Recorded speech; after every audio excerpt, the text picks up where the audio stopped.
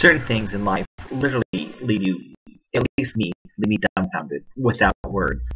Um, and nature has a an, often has a repeat effect of doing that, where you know Mother Nature will work her wonders, her magic, leaving me quite literally just speechless. This was one of those moments.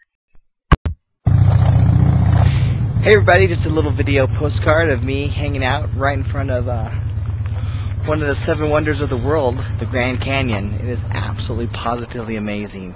Um, you know, pictures just don't do it justice. And so I just, uh, it's just really something that you one must see. I know personally it's really, really solidified one of my ultimate dreams, and that is to somehow uh, get to the bottom of the Grand Canyon, be it by mule or, or something like that. So got to get my ass in shape next couple years, and I think I'm going to do that. Anyways, Grand Canyon.